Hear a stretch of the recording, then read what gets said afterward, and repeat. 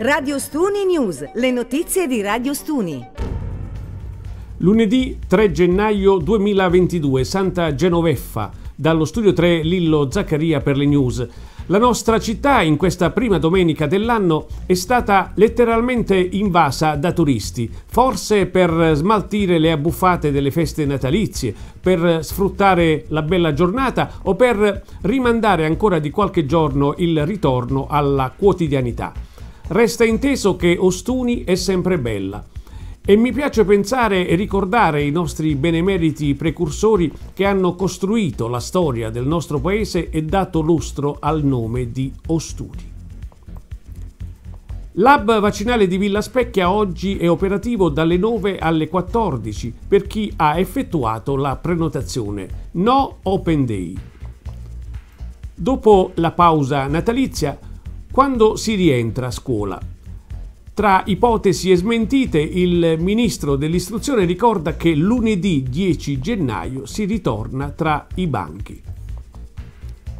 Dopo il Natale si svolge il rito della magia dei presepi allestiti nelle chiese della nostra città. La prima visita è stata compiuta presso la chiesa di San Francesco in piazza della Libertà. Il servizio di Nando Sallustio. Siamo nella bellissima chiesa di San Francesco in compagnia del parroco di Santa Maria Assunta in cattedrale Don Piero Suma. Come è concepito questo presepe? Questo presepe, questa natività è sempre presente, qui sempre visibile. Eh, dicevo qualche anno fa già alla stessa domanda che noi dobbiamo saper riscoprire una presenza quotidiana, continua del, del Signore in mezzo a noi non è qualcosa da contemplare solo in qualche giorno, dobbiamo riscoprire la presenza di Dio in mezzo a noi nei momenti felici e belli e soprattutto nei momenti in cui sentiamo la pesantezza delle tenebre che ci circondano, della fatica del vivere. Dio non ha condiviso solo il nostro stare in questo mondo, ma il nostro stare anche con fatica il verbo si è fatto carne, eh, dice San Giovanni nel suo prologo, cioè ha, ha condiviso l'aspetto diciamo, faticoso della nostra vita.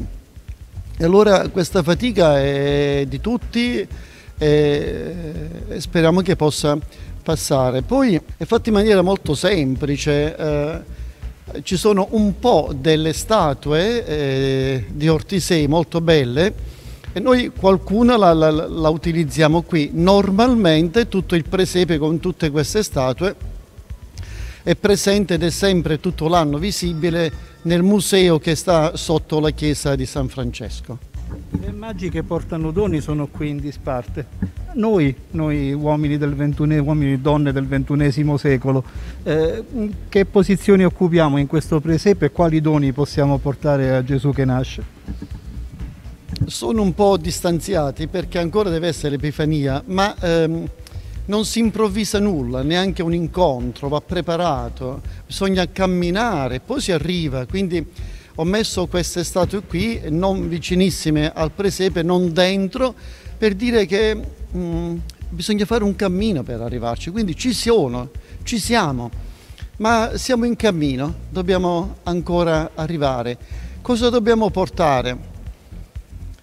I doni dobbiamo ringraziare, ciò che ci facciamo più fatica a portare nella nostra vita e a pensare che siano preziosi pure quelle, sono le nostre fragilità, i nostri momenti difficili.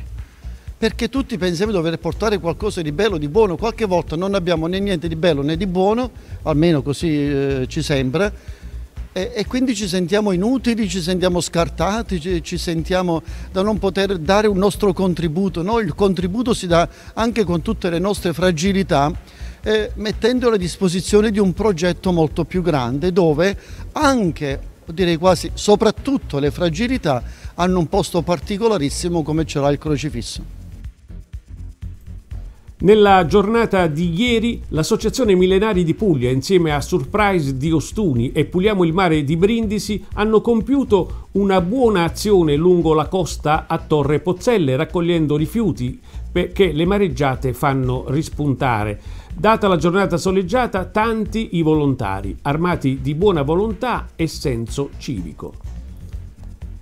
Nell'ambito dei patti per il lavoro e l'inclusione sociale, i beneficiari del reddito di cittadinanza sono tenuti a svolgere progetti utili alla collettività nel comune di residenza per almeno 8 ore settimanali, aumentabili fino a 16. A tal uopo, con determine adottata dal dirigente del settore avvocatura, è stata comunicata l'assegnazione di un ulteriore beneficiario al progetto denominato Benvenuti, con inizio dell'attività dal 4 gennaio 2022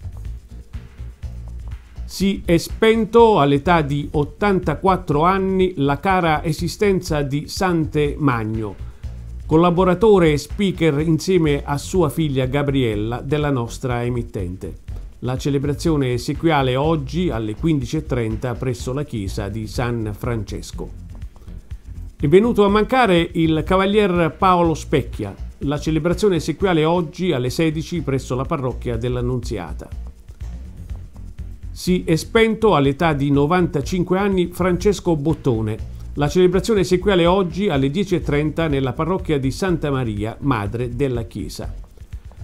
In questa triste circostanza esprimiamo il nostro profondo cordoglio alle rispettive famiglie. La farmacia Corsa effettua quest'oggi il turno pomeridiano e notturno. Meteo tempo stabile soleggiato, temperature ancora miti, Venti deboli, prevalentemente disposti dai quadranti occidentali, mari poco mossi. Citazione odierna.